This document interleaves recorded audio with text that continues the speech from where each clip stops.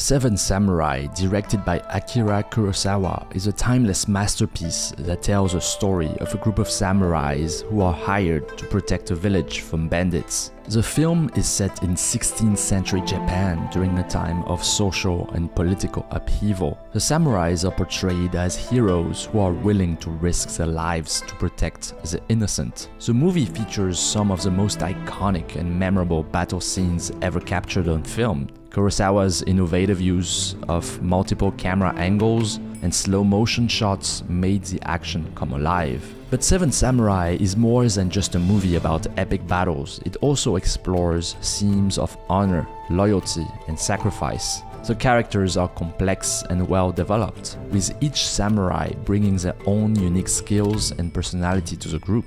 In the end, Seven Samurai is a tribute to the human spirit and a celebration of courage and selflessness.